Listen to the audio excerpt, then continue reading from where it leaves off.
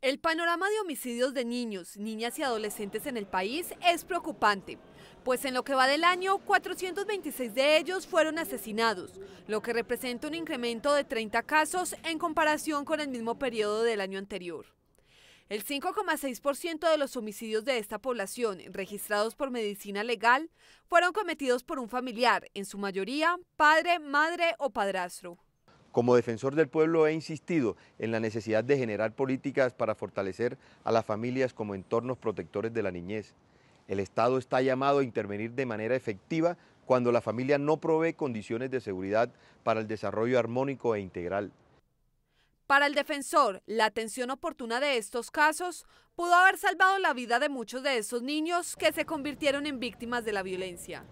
Hago un llamado al Ministerio de Justicia para que fortalezca las capacidades de las comisarías de familia, dirigidas a hacer más oportuna la intervención en los casos de violencia intrafamiliar. Los niños también se han convertido en víctimas de la violencia basada en género, pues en muchos casos son utilizados como objetos de amenaza para presionar a sus familiares.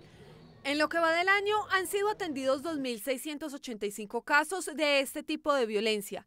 De estos casos, el 20.44%, el victimario es la pareja o expareja.